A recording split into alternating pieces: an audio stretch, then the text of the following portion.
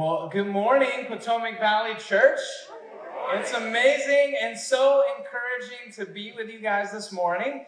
Uh, my name is JJ Griffin. This is my lovely wife and beautiful bride, Trinity Griffin.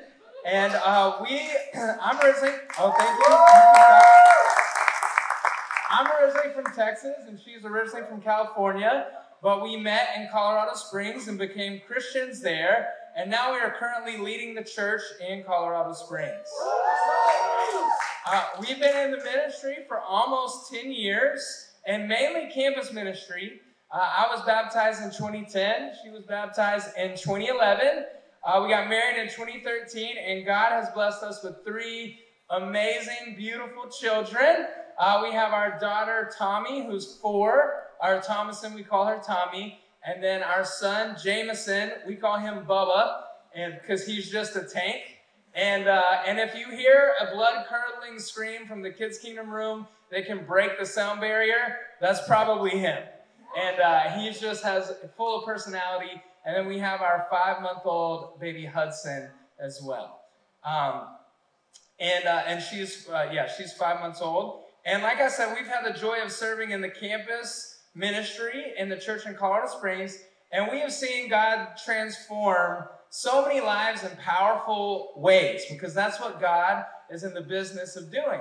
He's transformed our life very powerfully, and it's so amazing that through the cross that we can have amazing friendships and relationships. And so we've seen so many best friends uh, come, you know, through Jesus and through the church in Colorado Springs. And uh, it reminded me of a scripture in Ephesians chapter 2, verses 8 through 10, it says, For it is by grace you have been saved through faith, and this is not from yourselves, it is the gift of God, not by works, so that no one can boast. For we are God's handiwork, created in Christ Jesus to do good works, which God prepared in advance for us to do.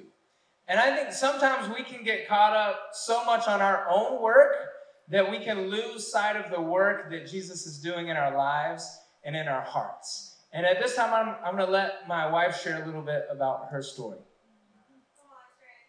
Yeah, it's truly an honor to be here with you all. And it's been a joy. that our Archers have really hosted us and loved us and taken care of us. We're so grateful for that. But the whole Potomac Valley is such a special church. And we have seen and heard all the way in Colorado, Colorado Springs, almost to the West Coast, uh, just about your community and your faith and your love. It has been such a blessing to come, and we hope to learn so much from you all and to be able to take back what God is doing here and spread that further among our fellowship. So, you are God's handiwork, and we are grateful for the example that you are setting. Uh, we probably all feel encouraged by visiting sister churches. Uh, for me, I think it just hits a little bit differently before becoming a disciple, I had a very limited experience of church. Um, I grew up with a single mom and two older half brothers. So God was mentioned from time to time. My mom had grown up Catholic, but we had never seen Jesus be practiced or um, participated in my home in any way. And my actual first experience of church, the only other church I've been to outside of the ICOC, was when I was 12 years old. I had just committed a felony for grand theft auto, and for some reason, my elderly neighbor thought it would be a good idea to take me to church. And so you would think it would be so I could get right with God. You know, what's a 12 year old doing stealing cars? Um, no. So actually, that's not where my head was at. I had a bunch of community service hours I had to serve, like as my punishment for that.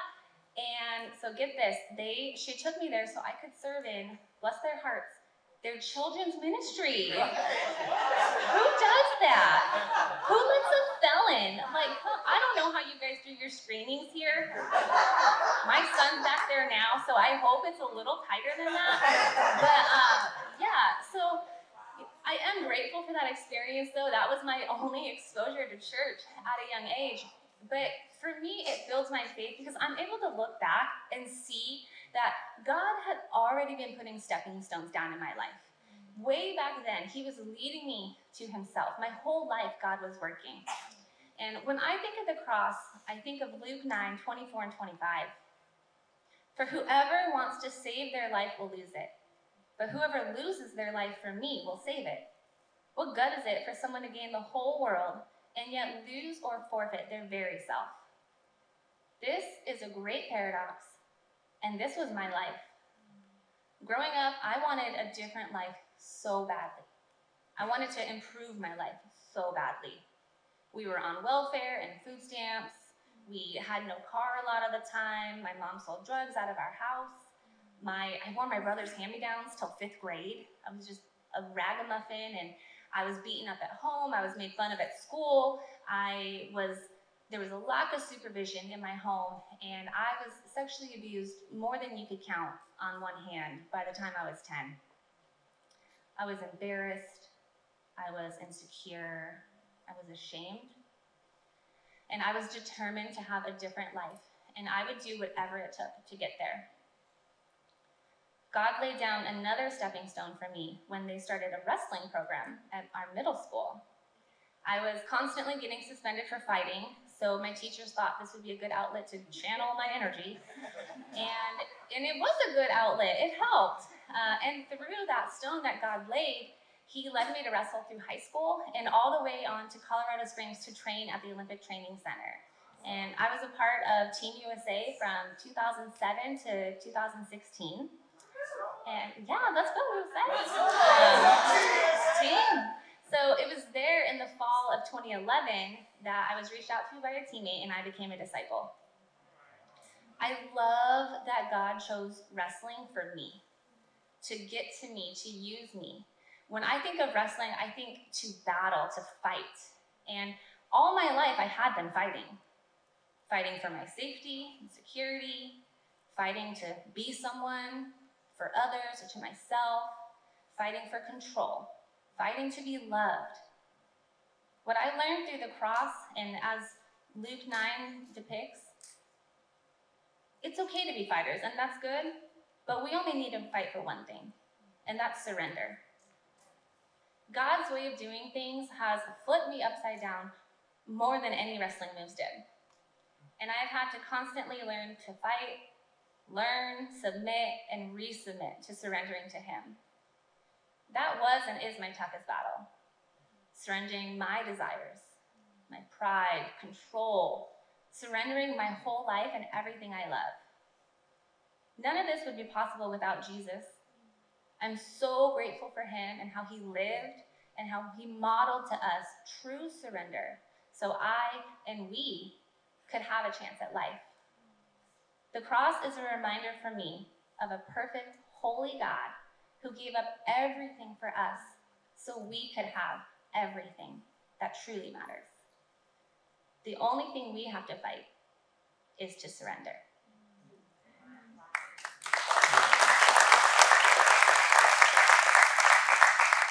Amen. She has such a powerful story. And I know you guys are all thinking one thing can she beat you up, JJ? And the answer is yes. But she can also beat you up too. So I have her on my side. Um, I love hearing Trent's story and how Jesus and the cross has transformed her. And I'm continued to be amazed by how God has worked his grace in her life and now our life and how her fighter spirit is also coupled with an amazing grace and beauty and love. And for me, uh, I shared the scripture in Ephesians 2 because for me, my worth has always been tied to how much I do. And I've always been, spent my whole life trying to prove myself by how hard I could work. Uh, I grew up as an only child, and my dad was a football coach. Uh, he coached every level of high school and every level of college. And, um, and I, I was always a daddy's boy. I always loved everything that he did. And I fell in love with football at a young age. But I was never the strongest. I was never the fastest or the most talented. I feel like I always had to work extra hard.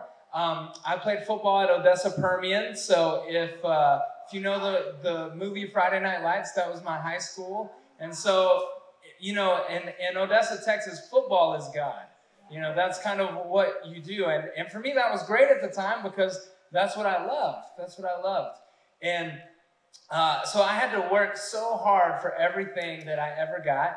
Um, I worked hard. I finally was a starter my senior year. Uh, I went to junior college for a couple years to um, try to, uh, you know, get a little stronger and faster. And then I actually walked on to Texas Tech, made the team, and earned a scholarship by my senior year. Um, so it was amazing for me that experience. But part of the part of the negative side of that was who I am is how hard I work. Who I am is how hard I work. And though it is great to work hard in many ways, um, no matter how hard I worked, I could never outwork my sin. You know, never, no matter how hard I worked, I feel like I could never achieve enough love and fulfillment in my life. And so that work ethic on the football field also turned into uh, a work ethic for, for people pleasing. You know, I wanted to be accepted and loved by so many people that I would do whatever it takes to fit in with them. You know, that also led to sexual addictions for myself, um, to just um, allowing all kinds of sin into my life uh, that I never thought would ever be there. And I was met uh, in 2010. I was getting my hair cut. Um, one of my best friends now reached out to me uh, in the lobby of a haircut place, of a barber shop. And uh, he, gave, he gave me his number on a sticky note. And I remember just after our conversation thinking, man, there's something different about this guy. I need to hold on to this. And together we were able to study the Bible, and just seeing the words of Jesus and the life of Jesus transformed my life. Transformed my life. And so, my story for me is it is good to work hard for Jesus in the ministry now, and it's amazing. But the moral of the story is it's all about the work that He is doing in our life. And when we remember the cross and the sacrifice that He made on the cross for us, that is really the end all be all. That we need to surrender our lives to Jesus because He is Lord and He's the one that can ultimately transform our lives. I spent my whole life trying to prove myself by my own worth, or, prove my own worth by how hard I work. And what Jesus shows us on the cross is that He proves to us our worth by His work. So let's go ahead and pray for the communion at this time. Father, you are amazing. And just as you've transformed our lives in so many ways, God, I pray that you continue to transform the lives of everyone in this church building today, Father. Thank you for Jesus. Thank you for the sacrifice that he made on the cross for us. Thank you that you sent him down to this earth. Thank you for his words that stick with us on a regular basis, God. God, we need you and we need Jesus in our lives. As we take communion today, Father, we pray um, that your sacrifice would continue to transform us by your love and your grace. And we love you in Jesus' name. Amen.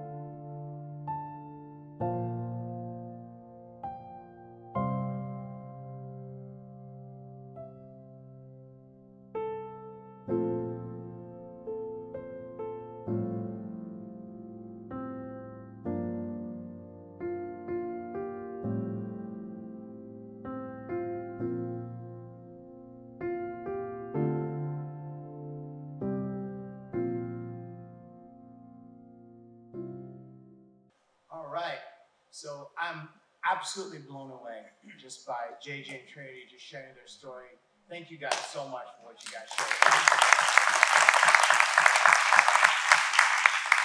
It's amazing how God works in our lives and just does incredible things to help us to really draw close to Him. Uh, at this time, what we're going to do is we're going to take some time to give contribution. But before we go into giving contribution, what we want to do over the next several weeks is take some time just to have a bit of a fireside chat. We talk about financial freedom.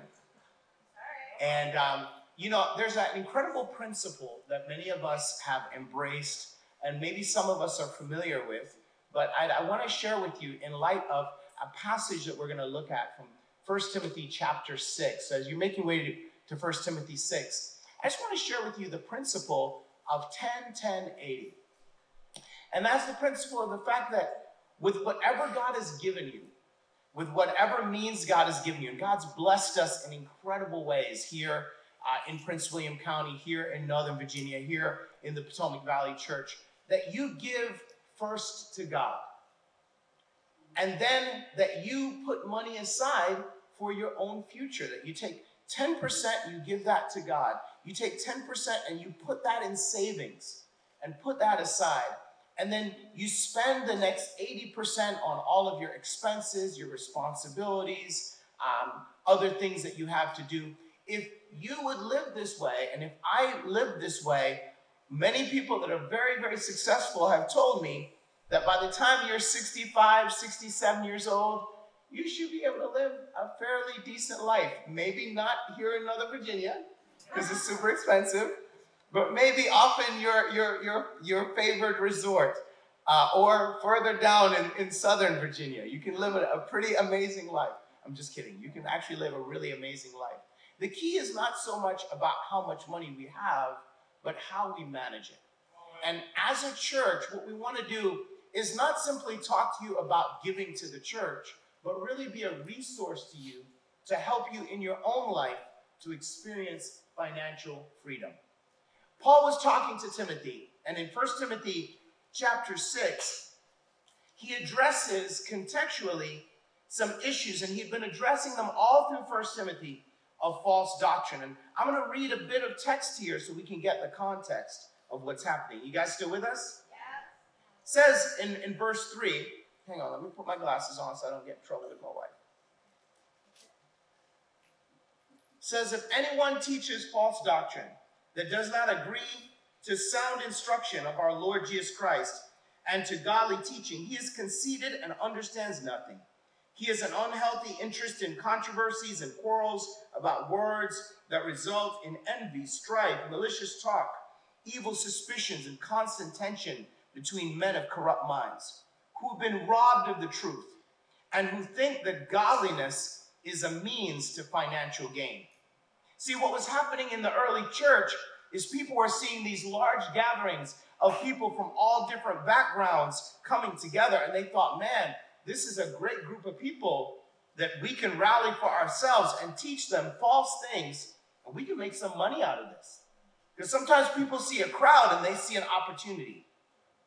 And Paul is explaining to Timothy that that's how people can be. But he says in verse 6 But godliness with contentment is great gain. For we brought nothing into the world, and we can take nothing out of it. But if we have food and clothing, we, are, um, we will be content with that. People want to get rich fall into temptations and a trap, and many foolish and harmful desires that plunge men into ruin and destruction. For the love of money is the root of all evil. Some people, eager for money, have wandered from the faith and have pierced themselves with many griefs. Many of us have heard this passage about the love of money being the root of all evil. And sometimes we have a negative view about money, and we don't think about money the way God does. What's interesting about Jesus is he actually speaks more about money than any other subject because money can have such a huge impact in our hearts. You know, there's uh, a wise person that once said that the furthest distance that any person will ever travel is the 18 inches between your head and your heart. Because so many times we can have in our head something that we should do, but our hearts are not where they need to be. And so Paul goes on to explain something else to Timothy that I think is important for us as we have this little fireside chat. Amen? in 2 Timothy chapter 6 and verse 17. So you know the context. Hey, people are going to see a crowd and think they can make something out of it. I'm glad you also found it, Siri. Siri's always finding things for me. And uh, somebody that's tech savvy is going to tell me how to turn off my watch. It's all right. But in verse 17, it says this Command those who are rich in this present world not to be arrogant nor to put their hope in wealth, which is so uncertain, but to put their hope in God, who richly provides us with everything for our enjoyment. Command them to do good, to be rich in good deeds, and to be generous and willing to share. In this way, they will lay up treasures for themselves as a firm foundation for the coming age, so that they may take hold of life that is truly life. Paul says it's important that you command those who are rich in this present age not to be arrogant or put their hope in wealth. You know, I went to Costco yesterday and um, chicken went up from a dollar to a dollar forty-nine. That's, by the way, like a whole chicken. And I really like cooking whole chickens. There's uh, inflation that's happening in the world and that's causing lots of anxiety and lots of fear that we can have in, in our thinking. But it's important for us as disciples of Jesus, us as people whose minds are set on having God's priority, that really see the kingdom economy instead of the world economy dominating our thinking, that one, we are mindful not to be led astray by false teaching or by people that are talking about get rich quick schemes. That we're not led astray by things that cause division and, and confusion. That we don't give our hearts over to the love of money, but instead that we take hold of life that is truly life. Our prayer is that as we move forward in this fall, we'll have many more fireside chat, many more conversations like this, so that we can help the entire church and everybody that's in our community, not just to be givers, but to experience financial freedom in every area of your life. And I pray that as a church, we can be a blessing to you. I want to encourage you to let everyone that's out of town or wasn't able to make it to service today to encourage them to be here next Sunday as we gather for our congregational worship with our Rappahannock campus and our Prince William campus. And for everyone that comes next week, we have a special gift that we're going to be giving to 200 families to really be an encouragement to all of us so that together we can experience the freedom and understand life that is truly life. What an honor it is that we get to give to God. Remember in your giving, in your thinking, not to allow the love of money to dominate your heart, but to be generous, to be willing to share, to definitely give to God's kingdom and to give to advance the gospel, but to learn to live a life of generosity and a life of freedom in Christ. Amen? Uh, if you want to give a contribution here, we are so grateful. And uh, we are so blown away by all the miracles that God is doing and will continue to do in our congregation. You can give in person. The ushers are going to be coming down the aisle. You can give in person. You can also text to 84321. You can give through our mobile app, or you can um, uh, take out your phone and scan that QR code and be able to give. You know, we are excited about how God is moving and will move as we learn to truly have God's heart and walk as he would in the world. Let's go to God in a word of prayer. Our God and Father, we thank you so much. We thank you for your grace. We thank you for your kindness. We thank you for your blessings. We thank you, God, for the miraculous ways that you are moving to save lives, God. As we listen to JJ's story and Trinity's story, we're blown away as God, you help us to, to see how the Holy Spirit moves, how, how your spirit moves to draw people to yourself through the cross. God, we thank you, God, that we get to be co workers with you. We get to be a part of a co mission with you to spread the gospel here. We thank you, God, for the ways that we get to participate in this act of worship, of being able to give our first fruits to you. And we pray, God, that we would experience the freedom that you intend for us to experience, God. The freedom in our minds, the freedom in our hearts, the freedom in the way that we manage the resources that we've been entrusted with. And that God, we can be a source of encouragement because of a heart of generosity that we have generosity with our time, generosity with our talents, and generosity with the treasure that you've given to us, God. Thank you, God, that we as a church get to experience life that is truly life because of your love. It's in Jesus' name we pray. Amen. I was so encouraged that Randall called me Will because when Randall first saw me at church, he said that my shirt reminded him of Blues Clues. So I was, I was preparing myself for him to say, Steve. Uh, so, so I was, I was, I was bracing myself. Thank you, Randall. You're so kind. And uh, there you go, there you go, Steve. I know, I know. Thank you for mixing it up. I know. Young Mr. Lugo always reminds me of that when I wear this shirt. I really love this shirt. Tasha loves this shirt, but hey, if you think Blues Clues, what can I say? It's, it's, what's that? The color of money. Oh, there you go. Green, cool. Fireside. It's a fireside chat shirt. There you go. That's right. Thank you so much, Charlie. So, amen. So grateful we got this chance to be together. I, I got to be honest, I was so blown away by the communion and just by JJ and Trinity's heart. You know, we had the opportunity, JJ didn't share this. I would not have made it um, in Colorado if not for, for him. He had his son on a backpack as we were going up the Manitou Incline, which is like a, a, a mile high set of stairs at like 8,000 feet elevation.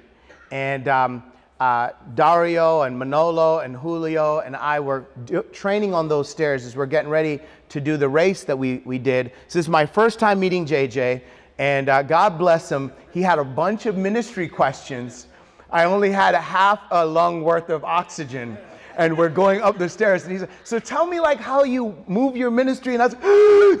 and literally, no joke, I'm not exaggerating. He can, this is not an exaggeration. I was on my hands and knees praying to God, thinking, I wish I had trained more and prepared better. And of course, you guys know Dario and Julio were like blazing up the mountain. They're like, you know, they went right up the, the thing.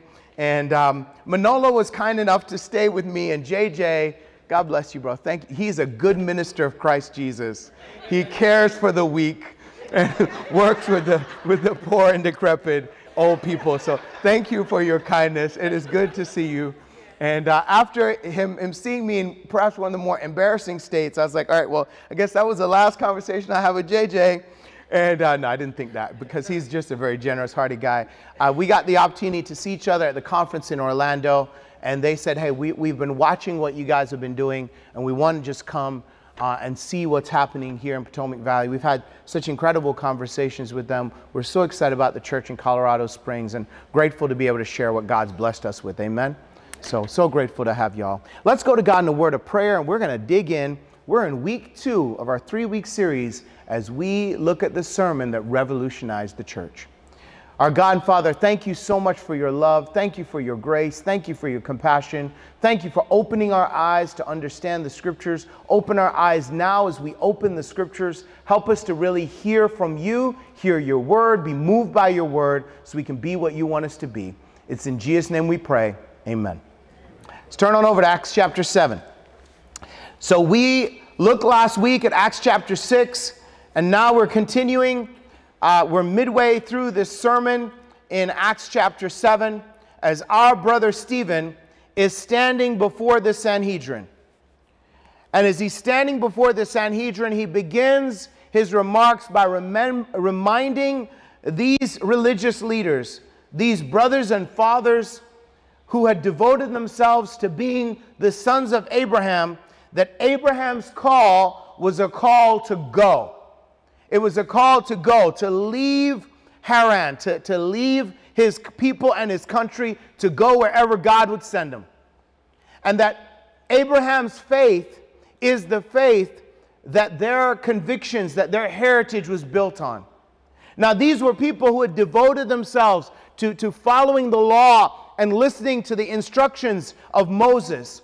And so, the next place that Stephen goes to as he seeks to persuade these religious leaders to remember who God is and to follow the Messiah, the next place he goes to is to Moses himself. We're going to pick up in verse 20 of chapter 7. It says, At that time, Moses was born, and he was no ordinary child. For three months, he was cared for in his father's home. When he was uh, placed outside, Pharaoh's daughter took him and brought him up as her own son. He was educated in all the wisdom of the Egyptians and was powerful in speech and action. When Moses was 40 years old, he's a grown man now, he decided to visit his fellow Israelites. He saw one of them being mistreated by an Egyptian, so he went to his defense and avenged him by killing the Egyptian. Moses thought that his own people would realize that God was using him to rescue them, but they did not. The next day, Moses came upon two Israelites who were fighting. He tried to reconcile them by saying, Men, you are brothers. Why do you want to hurt each other? But the man who was mistreating the other pushed Moses aside and said, Who made you ruler and judge over us?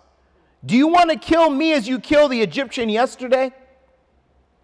When Moses heard this, he fled to Midian, where he settled as a foreigner and had two sons. Now, the account that God uses Moses to document in um, the, the first five books of the, the Bible of Moses' life does not take a lot of time to go into Moses' story between in the years uh, between when he is adopted by Pharaoh's daughter and when he becomes a prince of Egypt. And, uh, and then ends up going off to the land uh, of Midian. But uh, a lot of Jewish writing speaks about the stories of Moses and his background. And a non Christian um, uh, historian, Josephus, tells us about the accounts that were told about Moses' life. One of these accounts, and this is an extra biblical text, one of these accounts say that Moses was such a beautiful child that they would carry him through the streets and people would marvel at how beautiful he was. That he was just one of those kids that just grab you. You know, there's some people, they just grab you. Like every day when I look at my wife, I'm like, man. Just like, you know, I'm just telling you, that's how it is. That's how it is for me. And uh, it doesn't need to be like that for you, but it sure is like that for me. I'm just letting you know what it is. This is September, and we've been married for 23 years at the end of this month. I am so grateful. This is a good woman, and she is amazing. But there are some people that just have that striking beauty, and Moses was a, a good looking young baby. And, uh, and, and what this, this extra biblical account says is that uh, Pharaoh's daughter went to Pharaoh and said, Moses is such an amazing child. He should be the next Pharaoh. And Pharaoh jokingly took the crown from his head and put it on the baby. And the baby reached up and took the crown and threw it down to the ground. And, and the wise men of, of Egypt said, This child needs to be put to death right away. Because if he is not killed, he will lead to the fall of Egypt. And Pharaoh's daughter uh, pled with her father and said, That was just a baby. It was just an accident. He was just being bam bam. It's not a big deal. And, and Pharaoh didn't do anything about it. So, this was a, a part of this extra biblical account. Why that is significant is because it, it helps us to understand at least a, a bit of the decision that Moses would have made as a grown man to let go of everything that he had, everything that he knew, everything that he had lived for, to let go of all the prestige of the world. He was educated, it says in the biblical text, it says he was educated in all the wisdom of the Egyptians and was powerful in speech and action. Other extra biblical accounts say that Moses led a campaign under Egypt's armies into Ethiopia and was a conquering warrior. He was a man of action, a man of education, a man uh, of, of, of prestige, one that was held in high regard. And he decided to give it all up because he thought that he would be the one to help rescue his people. But he wanted to rescue them based on his own terms. As Stephen is explaining this to these people, he's explaining that Moses had a worldly mindset, even in his desire to do what was right. And God had to re educate Moses and help him to understand who he was. By the time God calls Moses to be that deliverer, he is a very different man. We'll pick up in verse 30. You still with me? After 40 years, he is 80 years old.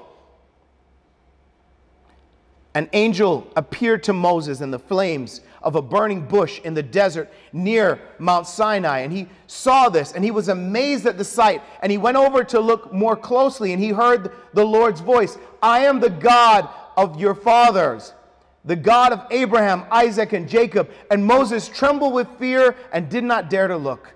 Then he said to him, Take off your sandals. The place where you're standing is holy ground.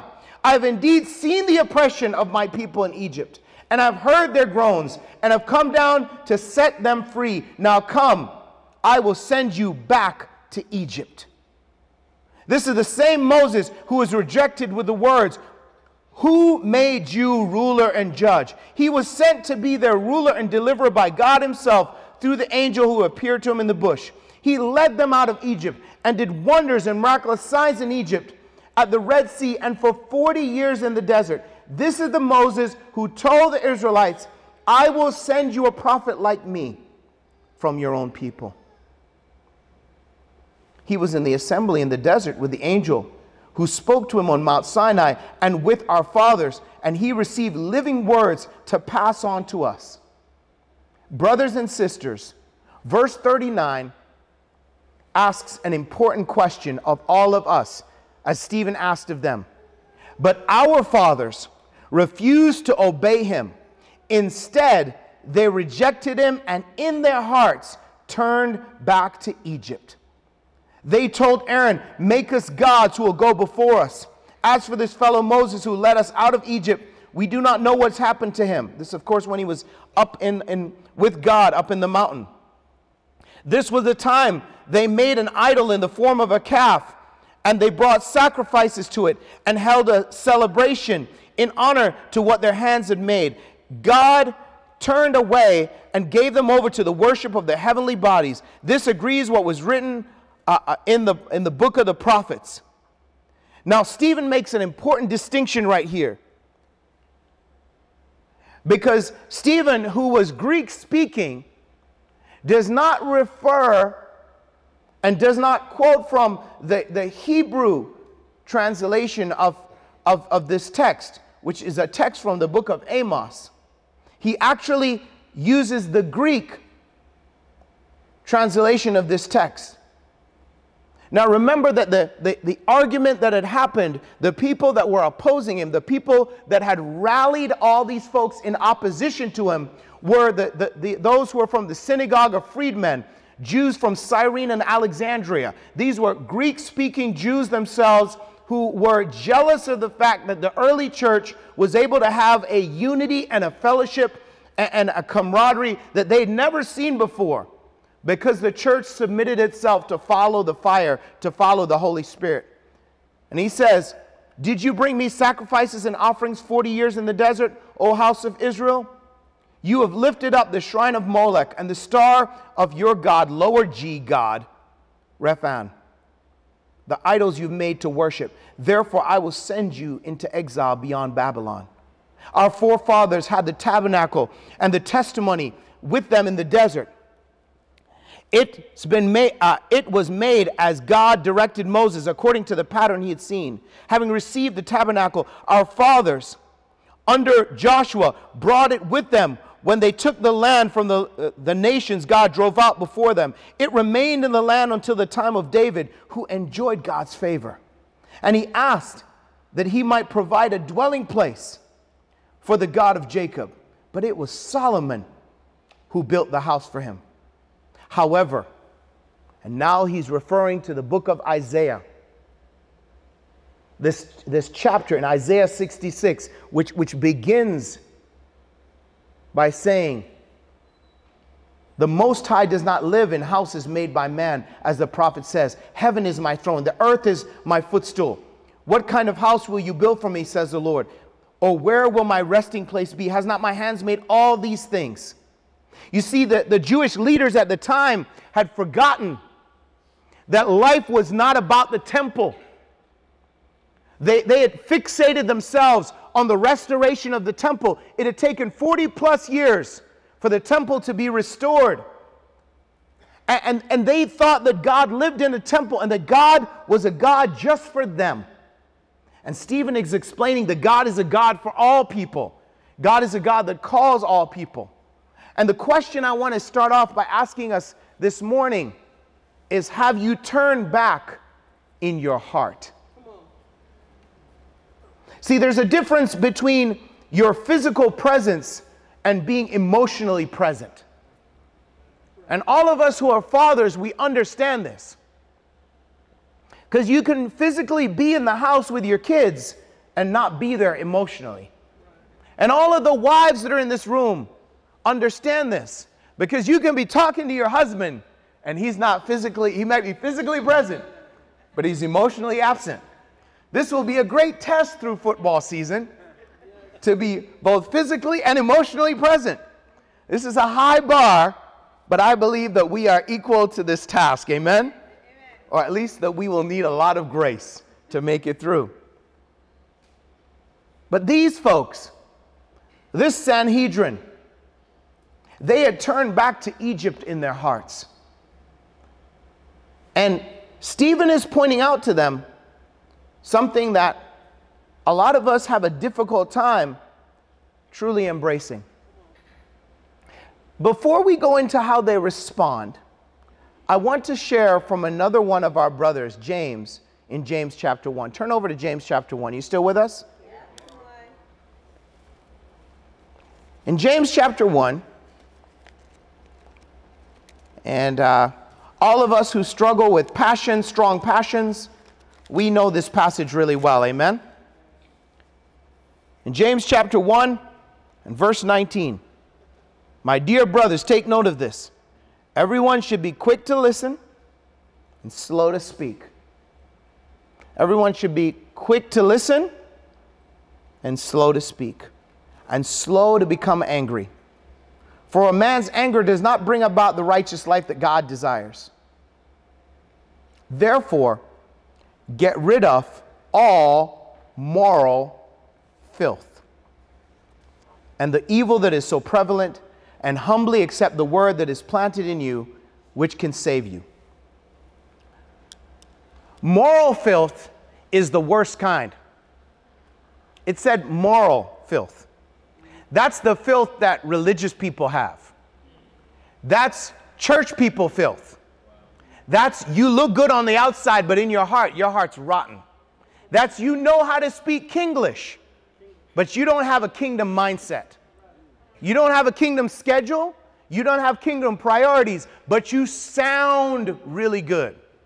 Now, I'm just going to tell you honestly, I find it very difficult to be a Christian. And that may be really alarming to you because you came to the church and the preacher's telling you he's not, I'm just letting you know from jump. I know how to talk Christian. I know how to walk Christian.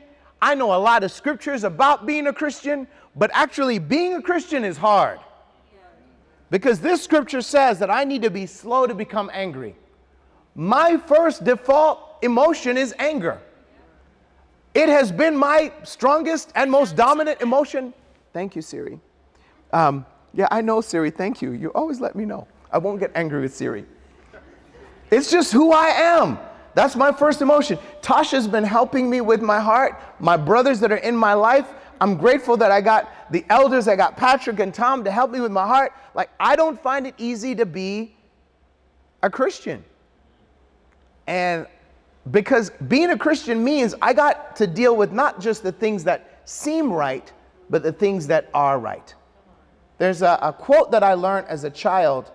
It was the motto for the school I grew up in. It's "Esse quam videri." It means to be rather than to appear.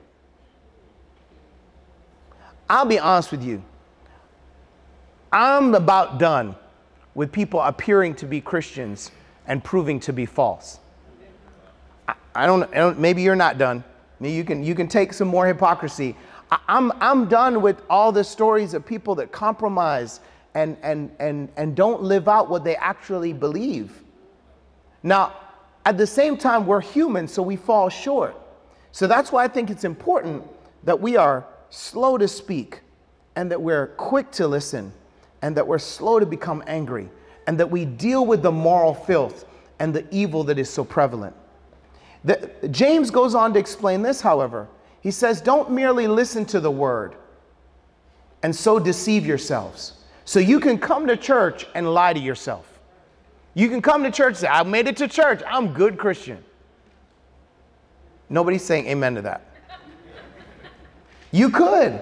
There are lots of people that go to church and they lie to themselves. And I don't want to do that. We don't want to do that. That's not what we're trying to be here. The scripture says, do what it says. Anyone who listens to the word and does not do what it says is like a person who looks at his face in the mirror and after looking at himself goes away and immediately forgets what he looks like. But the man who looks intently into the perfect law that gives freedom and continues to do it, not forgetting what he, has, heard, but doing it, he will be blessed in what he does. If anyone considers himself religious, if anyone considers herself religious, anybody that wants to be religious and yet does not keep a tight rein on his tongue, he deceives himself and his religion is worthless. Religion that God our Father accepts as pure and faultless is this to look after orphans and widows in their distress, and to keep oneself from being polluted by the world. Why is this so critical to what we're reading? It is because Stephen is the epitome of pure religion. Stephen is the example of pure religion. Stephen took care of the widows. Stephen loved the people that were hurting. Stephen was committed to living out the faith that we seek to practice. And Stephen was telling the religious leaders the truth, and they were consumed by moral filth. C.S. Lewis says of all bad men, religious bad men are the worst. Our goal as a church is not to increase the number of members in our congregation, but to increase the number of disciples that are part of our community. We do not simply want to fill seats we want transformed lives because people who've committed themselves to walking like Jesus, as Stephen did, will change the world. And make no mistake about it, if, if there was ever any question, there are no political solutions. As in none. As in, like, there's not a Republican solution or a Democratic solution. I love everyone. Y'all know I love all the politicians because my dad was a politician. So I just see my family. I don't want nobody to mess their life up. We love people from every background, but I don't look to them for answers. There are no economic leaders that are going to come and save us. And there are no religious leaders. Please don't look to me for the answer because I am not the one to help you, but we together can follow Jesus. I made a commitment to be the first follower. I will show up and follow Jesus. And if I fall down, please pick me back up. And if I fall short, please let me know. And if you fall short, I'll try to tell you gently. And if I don't say it gently, please forgive me. And we can work it out together. Amen? But Stephen wasn't pulling punches. He was telling them, look, this is what Abraham did. This is what Moses did. Now, I don't know about you, but I grew up with an idealized view of history. And I always thought to myself, if it was back in slavery times, I know what I'd do. Or if it was back in, in the civil rights movement, there I would be. Or if it was back in, you know, the time of some great conquest, this is what I would do. And I think that's important to this context because what Stephen is telling these people is you are just like your father. Now, I don't know if you, that's like a really offensive thing to say, but not the good family members. He wasn't like the one that you're proud of. He was like, You're like the same people that rejected Moses. If you were back in the time of Moses, you guys would have been the complainers. If you were back in the time of Abraham, you'd be the one that was questioning why he left Haran which is not a flattering thing to say to someone. This is not how you make friends and influence people. Just so you know. And in case you think I'm, I'm there's hyperbole, let's read verse 51. You stiff necked people with uncircumcised hearts and ears, both your heart and your ear needs to be cut. You are just like your fathers. You always resist the Holy Spirit. Was there ever a prophet your fathers did not persecute? Was there ever one? Was there ever one you didn't persecute? You even killed those who predicted the coming of the righteous one. And now you betrayed and murdered him. And you have you who received the law that was put into effect by angels and have not obeyed it. How long will they kill our prophets while we stand aside and look? How many more stories do you need before you're going to repent? He did not pull any punches. He didn't. And why is this significant? Because there were only two choices for Stephen they were going to repent or they were going to rebel. And what did they do? They chose the worst possible option. They chose to let their anger, their jealousy, their moral filth, the undealt with areas in their life consume them and they did the unthinkable. There was no Jewish law, there was no right that the Sanhedrin had to do this. This was mob justice. Now, I don't know if you've ever seen something like this before. I don't know if you've ever seen mob justice at work. I don't know if you've ever seen a stone fight before. But where I grew up in high school, I've seen mob justice. I, I remember there was a guy that stole a boombox from my boarding house back when boomboxes were a thing. You remember boomboxes? He stole a boombox and he jumped out a window, and the students that were in the boarding house with me, they caught him and they beat him within an inch of his life. And then the police showed up and they stood there and watched as they beat him some more and, and one of my boarding room, boarding house classmates took a cinder block and dropped it on this guy's head. And I'll never forget seeing that. And I, you know, I was 12 years old, and, and I was like, that's what happens when mob justice rules. Now, I wasn't standing there giving approval of what's happening, but I, I, uh, I was just frozen. And every time I read Stephen's account, I think about the choice that that thief made and the choice that happens when people choose to let violence be their solution. We've got a lot of young men in our world who have not been offered a direction or a solution other than violence being their solution. And as a church, we've got to recognize that we cannot stand silent in a world that is giving itself over to violence and act as if we do not have the answer. But we cannot match violence for violence and think that that solves any problems either. What we see that happens next changes the church. When they heard this, they were furious and gnashed at their teeth. But Stephen, full of the Holy Spirit, looked up to heaven and saw the glory of God and Jesus standing Jesus is said to be sitting at the right hand of God, sitting with him in shared judgment, preparing to, to bring final judgment on the world. But Stephen, in that moment, looked up, and Jesus, instead of sitting, Jesus stood up. Jesus is standing up. That posture would indicate that Jesus was commending Stephen. Jesus was recognizing the moment. Jesus was recognizing his disciple going through what he'd gone through with the same group of people that he'd gone through it with. Jesus standing as his advocate at the right hand of God. And he looked up and he said, I see heaven open and the Son of Man standing at the right hand of God. At this, they covered their ears and yelled at the top of their voices, and they all rushed at him and dragged him out of the city and began to stone him. And just so you know, the stoning that they would have done would not be the stoning like many of us would have in our minds that they would just pick up stones and start pelting him with little rocks. This stoning would be that they would take him to the edge of a, a cliff or a high, a high area and they would throw him off and if he died in the fall, he died.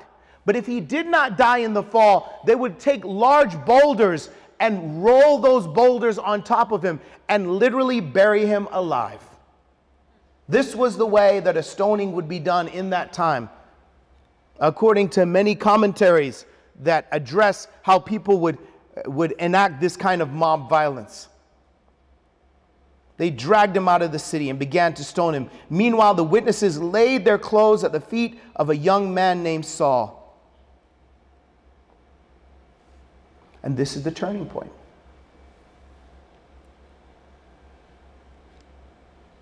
Stephen doesn't do what Moses did at 40. Stephen doesn't do what so many people have done in our history. While they were stoning him, while they were stoning him, Stephen prayed, Lord Jesus, receive my spirit. Then he fell on his knees and cried out, Lord, do not hold this sin against them. When he said this, he fell asleep. Forgiveness starts the next chapter. Jesus prays as he's on the cross Father, forgive them, for they know not what they do. And Stephen prays as he's being killed Lord, do not hold the sin against them. How do we fight our battles? It is going to be fun with football season. It is very exciting. All the things that are happening in so many arenas. It is Labor Day weekend, but we do live here in Northern Virginia, and there's a probability that there will be a very vitriolic political season in 2022, and a vitriolic political season in 2023 and a vitriolic political season in 2024, and people will try to compete for all of your emotions, and you're gonna have to decide to be a Christian no matter what comes out the gate. And we, as a church, are committed to the fact that all people that have all sorts of views are part of our community. So we have to decide how we're gonna fight our battle. Now, what a number of folks are doing is they will coalesce people who believe what they believe and use that as a battering ram against other people. We will not do that. What some folks will do is they won't deal with the real issues and they'll just sing you nice songs. And then when you go out the door, you can take that up from there. We will not do that. Instead, what we will do is we will be Christians. We will choose the path of forgiveness, even though it's the hardest path. And you have to recognize that the turning point that happens is Stephen is being murdered, and Saul, who would become the greatest evangelist of all time, was the violent man that was a part of the mob giving approval to what was happening. Some of the people that you think are the worst of the worst of the worst will be called to be and do the greatest things you've ever seen. Are we prepared to love them? Are we prepared to forgive them? I got to tell you, that's hard for me. I'm, nobody's saying amen to that. It's hard. But that's why you don't follow me and I don't follow you. We follow Jesus. Turn on over to Luke chapter 6. You still with me? We said we're going to follow the fire, so you got to expect to get burnt. at least feel warm. You can't, you can't be cold and follow the fire. Be like, yeah, yeah, it's going to be just entertaining. You didn't come here for entertainment. You can do that afterwards. You came here for conviction. Amen? Amen. Luke chapter 6. Luke chapter 6 and verse 27. I know we've, a, we've read a lot of scripture today, but we need a lot of scripture for what's coming. But I tell you who hear me, this is red letter, this is Jesus. I tell you who hear me, love your enemies. Love your enemies. There are lots of religions that tell you, love those who love you. There are lots of parties that will tell you, love our people and hate those people. But we reject that narrative because we follow Jesus as Stephen did. Amen? We will love our enemies. Do good to those who hate you. Bless those who curse you. Pray for those who mistreat you. If someone strikes you on one cheek, turn to him the other also. If he wants to take your cloak, don't stop him from taking your tunic. Give to everyone who asks. If anyone takes What belongs to you, do not demand it back. Do to others as you'd have them do to you. If you love those who love you, what credit is that? Even sinners love those who love them. And if you do good to those who do good to you, what credit is that? Even sinners do that. And if you lend to those from whom you accept, expect repayment, what credit is that? Even sinners lend to sinners and expect repayment in full. But love your enemies. Do good to them. Lend to them without expecting to get anything back. Then your reward will be great, and you'll be sons of the Most High, who is kind to the ungrateful and the wicked. Be merciful as your Father is merciful. The beginning of 2020 was the absolute worst beginning of a year in my entire life. The end of the first month, my mother died. And my heart was like wrecked. And a few days later, family members from Jamaica sent me a message showing me that um, someone who we knew closely, who we thought was a friend to the family, had defrauded our family out of my family's inheritance and had dishonored my father's hard work that he'd spent his whole life uh, doing. The, the pain of losing my mother and the reminder and the reopening of my father's wound and the injustice against our family that happened, that had the consequence of hundreds of thousands, millions of dollars worth of money stolen from my family, took me to one of the darkest places I've ever been in my life. And Phil and Shinda know because we talked about it, and the elders know because we talked about it. I'm telling you, having dealt with it, I will be completely honest with you. I had, I genuinely thought in February, March, April of 2020, I don't know that I can be a minister because I am denying myself from getting on a plane and going to Jamaica and suspending everything that I've ever done as a Christian and literally taking someone's life because of what they did to our family. I understand anger and loss and rage and injustice at a visceral level. And I'm so grateful. I remember I was talking to Shinda, and Shinda said, Will, you got complicated grief. You need counseling. No, you didn't talk to everybody you can talk to. Go find a counselor that does grief counseling. And I went and got grief counseling. I appreciate that. And I, I planned on a one hour session. About two and a half hours in, I was still talking. And then church closed because of the pandemic. And the one place that I would go for solitude was running. And then Ahmaud Arbery was, was murdered in Georgia on a Sunday afternoon. And I felt like I can't even go out and run anymore and find peace. And then George Floyd, who's the same age as, would be the same age as me, was murdered in the summer. And we were wrestling with so many difficult issues as a church, and I felt like my heart was being ripped apart. 2020 was brutal. 2021 was challenging. I'm so glad we're in 2022. And I don't know what comes next, but I tell you what I decided in those days, in those dark moments. I decided that I'm going to follow Jesus no matter what. You this scripture doesn't mean anything until you've had an enemy. This scripture doesn't mean anything until someone struck you on the cheek and taken your stuff. And you've got to decide whether you actually believe what we read. See, C.S. Lewis says to be Christian means to forgive the inexcusable because God has forgiven the inexcusable in you.